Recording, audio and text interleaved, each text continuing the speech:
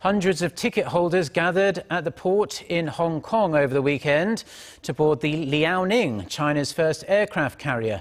The Liaoning and its three accompanying ships are making a five-day port call to commemorate the 20th anniversary of the former British colony's return to Chinese rule. According to officials and analysts, the ship's visit to Hong Kong is an attempt to inspire some kind of national pride in people from Hong Kong towards China. It was also the first time for the ship to be open to the public.